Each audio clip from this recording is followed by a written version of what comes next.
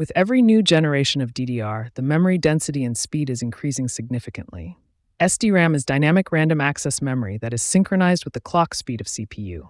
SDRAM also stands for SDR SDRAM, that is single data rate SDRAM. Single data rate means that SDR SDRAM can only read, write one beat of data in a clock cycle. It is required to wait for the completion of a command before transferring next read, write operation. SDR speed varies from 66 MHz to 200 MHz. DDR SDRAM is a double data rate SDRAM. It achieves the double data bandwidth without increasing the clock frequency by transferring data on both rising and falling edges of the clock signal. Prefetch buffer size is 2n, that is 2 data words per memory access, which is double of SDR SDRAM prefetch buffer size. DDR memories transfer n bits of data per clock cycle from the memory array to the memory internal I/O buffer. This is called n-bit prefetch. Similar to DDR1, DDR2 also transfers data at twice the clock speed, transferring data on the rising and falling edges of the clock signal. Also, the internal clock runs at half the speed of the data bus, leading to higher bus speed and lower power. All the above factors help DDR2 SDRAM to achieve four data transfers per internal clock cycle. The prefetch buffer of DDR2 is 4 bit. It is double of DDR SDRAM. The data rate of DDR2 is 400 Mbps to 800 Mbps.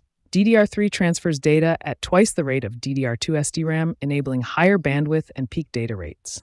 Two new features are also added automatic self refresh and self refresh temperature range, leading memory to control the refresh rates according to the temperature variation. Its prefetch buffer width is 8 bit. DDR4 is able to achieve even higher speed and efficiency, though keeping the prefetch buffer size 8n, same as DDR3. The higher bandwidth is achieved by sending more read write commands per second. DDR4 standard divides the DRAM banks into two or four selectable bank groups, where transfers to different bank groups can be done faster. Operating voltage of DDR4 is also less compared to DR3. Few new features are also added, such as DBI, that is data bus inversion, CRC, that is cyclic redundancy check, and CA parity. These new features enhance DDR4 memory's signal integrity and improve the stability of data transmission and access. The DDR5 SDRAM achieves higher speed by using 16N prefetch buffer. DDR5 divides the DRAM banks into two or four or eight selectable bank groups, compared to DDR4, which uses up to four bank groups. Some new features are also added. 1. Write pattern command. It saves power by not sending the data across the bus. 2. Enhanced PDA, using the CA interface as the only method for per DRAM addressability by having unique PDA enum ID assigned to each DRAM.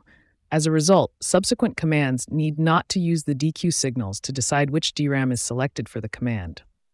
3. Write leveling two types of trainings. External WL training for cycle alignment like DDR4, internal WL training for phase alignment. 4. Support of various training like CA training, CS training, etc.